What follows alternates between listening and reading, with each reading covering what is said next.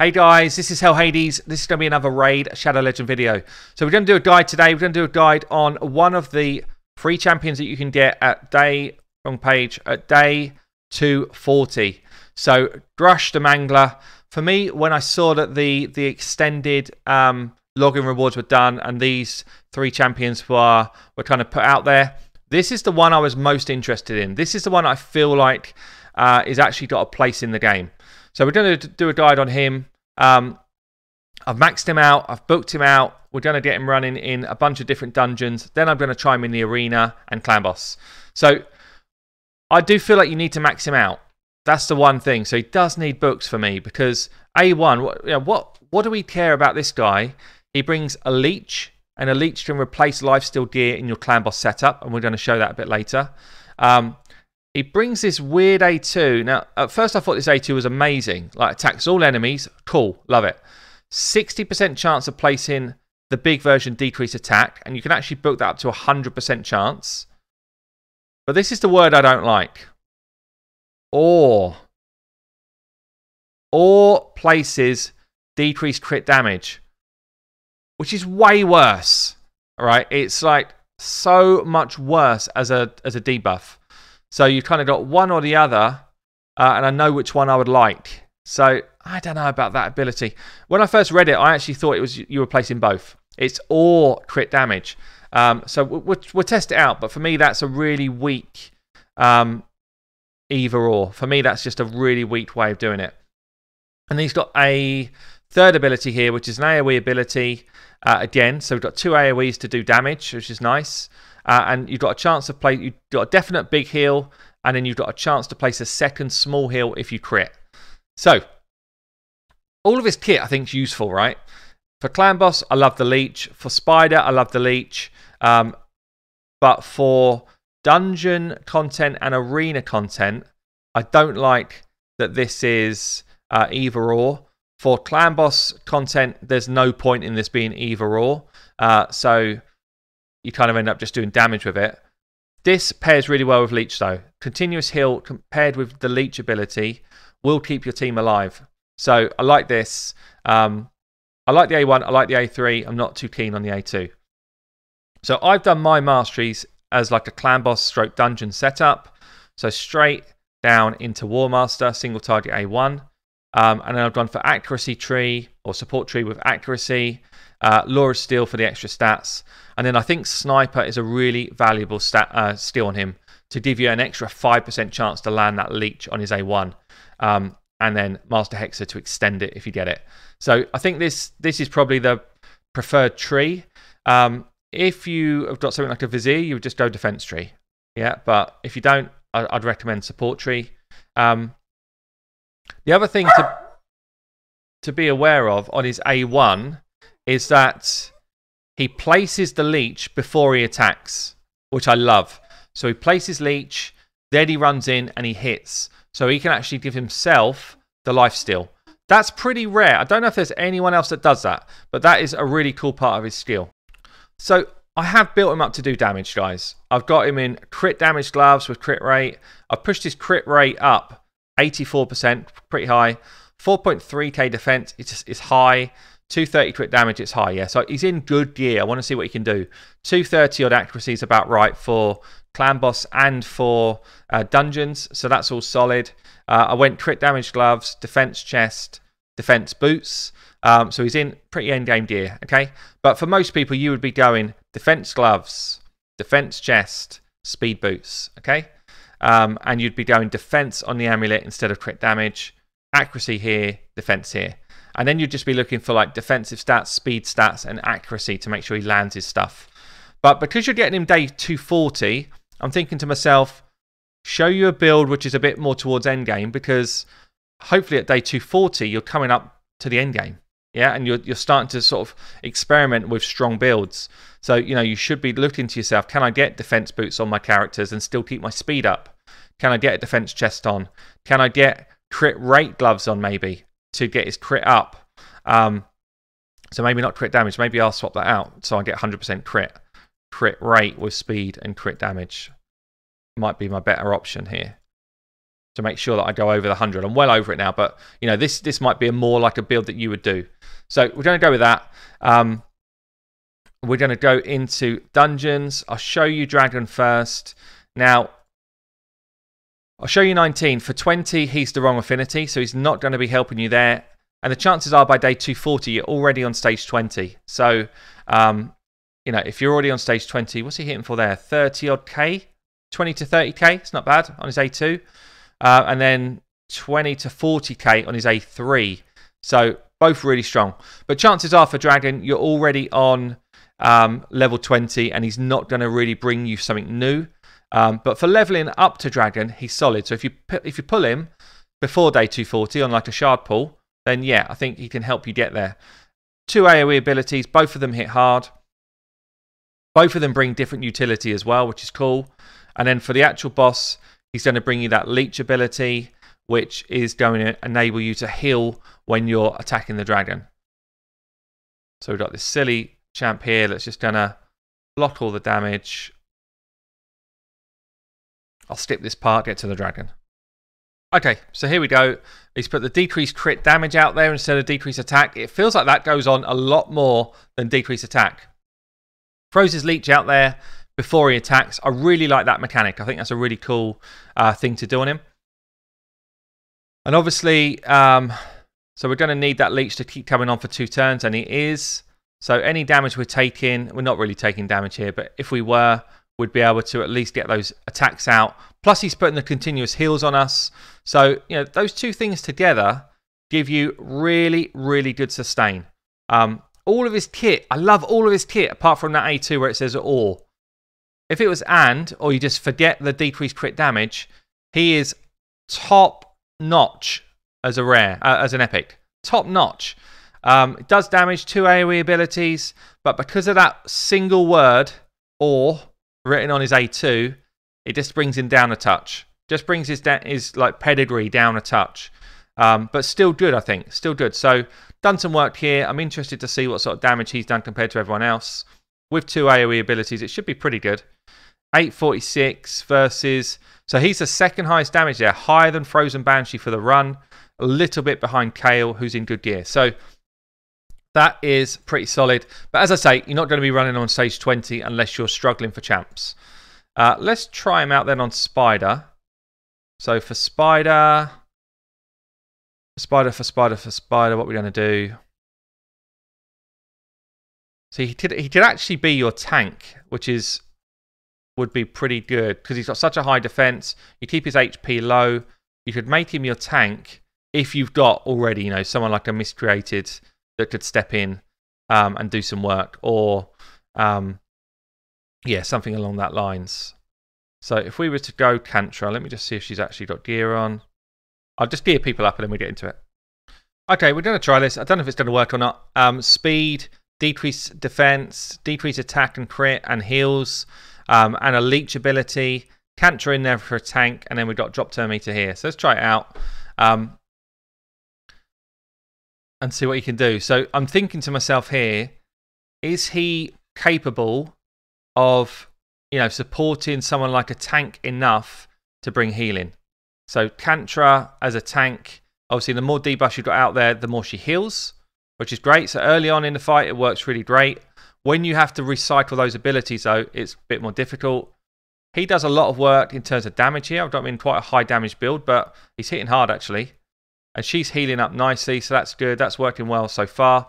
Obviously, once he gets his leech out, everybody here, so everybody now is healing off of the spider, which is pretty cool. I mean, it's everyone's going to be attacking that, that main spider, so everyone's going to get the benefit of that leech.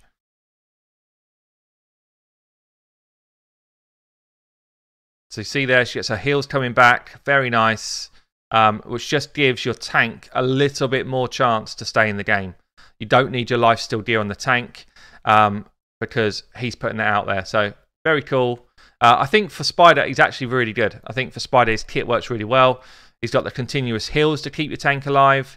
He's got the um, the AOE kind of drop crit rate, uh, sorry, crit damage or drop attack, uh, which works nicely.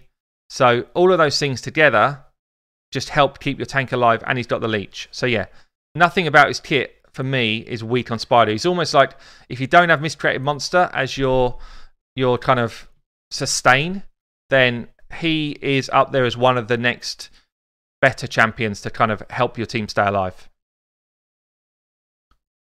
Obviously, nothing of the level of miscreating monster before I get a million comments saying what you want about.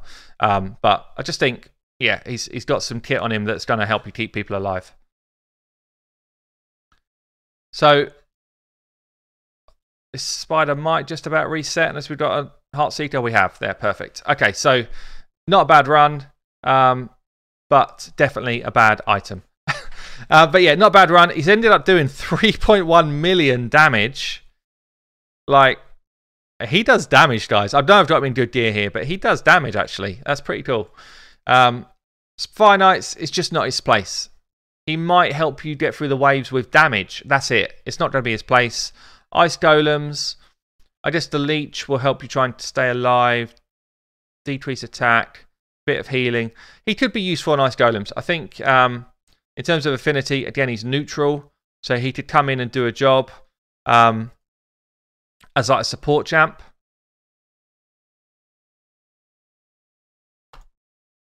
Certainly will will help you get through the waves with damage uh, if you build him in a strong way. But if you can't build him in a strong way, definitely feels though like guys. It says either or for that decrease attack, decrease crit damage. It feels like 80% decrease crit damage, 20% decrease attack, which is a bit weird. So it'll help you get through the waves a bit. Um, not massively for this second wave, though.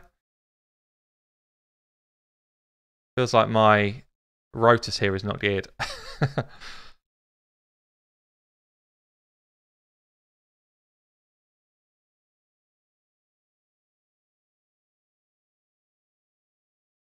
uh, maybe he is. Yeah, so, I mean, He's just killed himself there with his AoE. Yeah, it's a bit of a weakness, I guess. So unless you can pick him back up, um, watch out for that second AoE.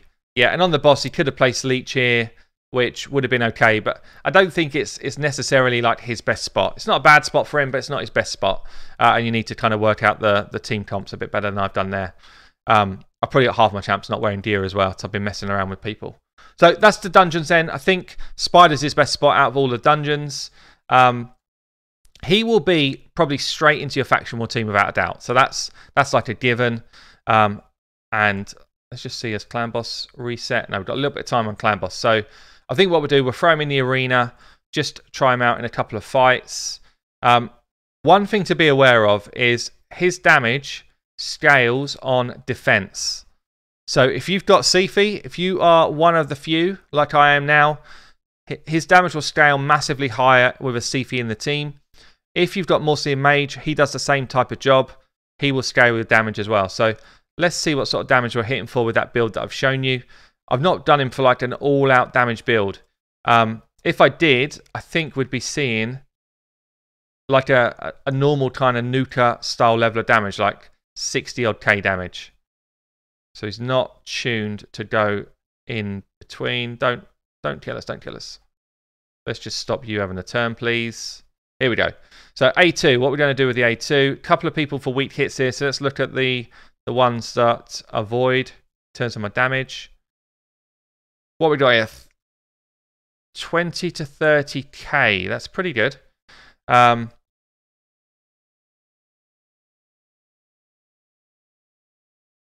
pretty good. Not bonkers, but pretty good.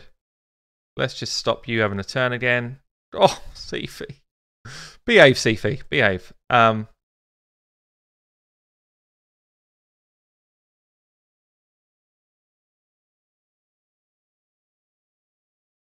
Bump his, his defense up again. Let's see what his A3 does then. So there's no decreased defense on them, but oh, 26k with no decreased defense. It's a hard hit, guys.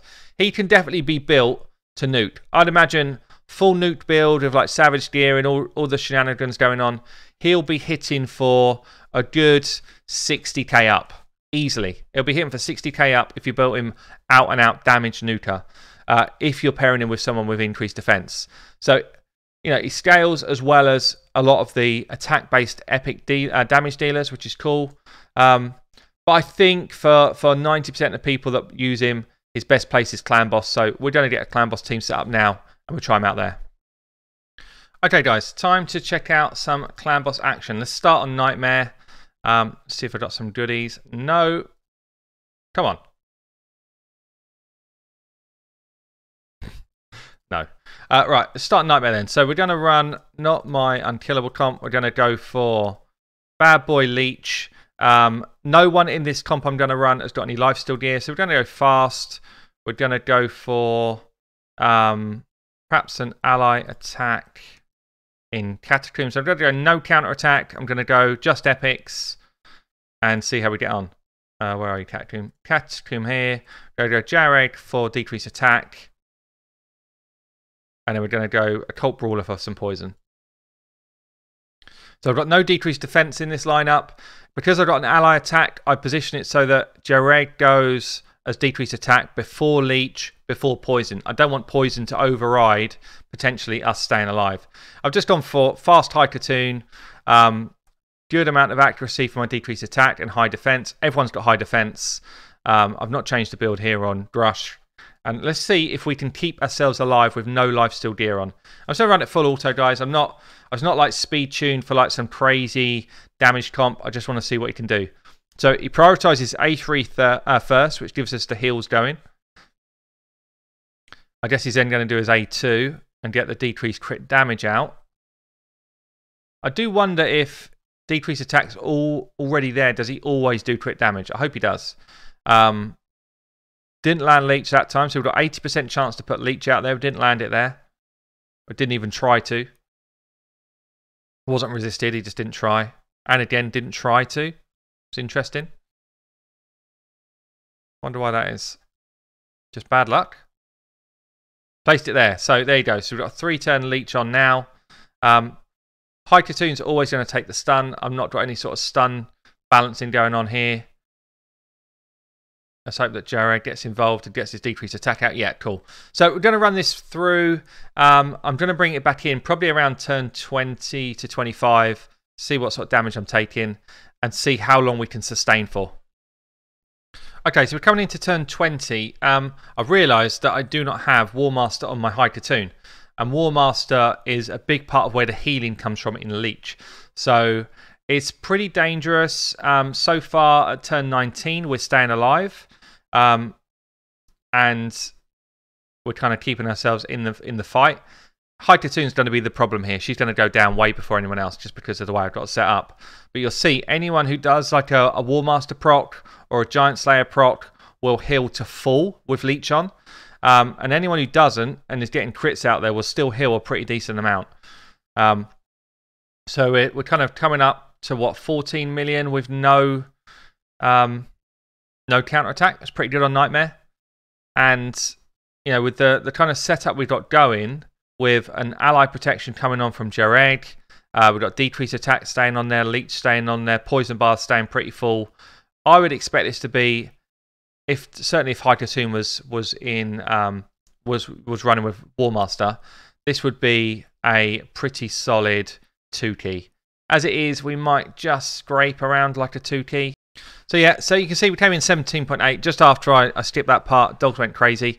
Um, High Khatun went down, and she done no damage. So if she was running Warmaster, she'd be at like a couple of mil. Easy two key setup. So as long as you've got Warmaster running on all your champs, Leech is enough to sustain. Um, and you know, con considering the, the lineup we're using here, the fact that I've not speed tuned anyone, um, I think Ghrush is really like top notch clan boss champ. I think he's brilliant. Um, so, yeah, for me, it's definitely his best place. But Spider and Clan Boss feel like the places to use him. He can do damage in the arena. I think actually good addition to the game. Well worth leveling up. Um, like mid to, to high tier epic in my books. So um, I guess with the with the kind of popularity of unkillable teams at the moment, he's going to be less utilized. He's not really needed in an, un- or he's not used, needed at all in an unkillable team. But if you're running a standard clan boss comp, I think Ghrush can get into a ton of teams, and Leech is still really relevant in the meta. So, guys, hope you enjoyed the guide. Uh, Ghrush for me definitely worth some some time, some investment. He does need books to be useful, um, so bear that in mind. But yeah, I've been Hell Hades. I'll catch you soon.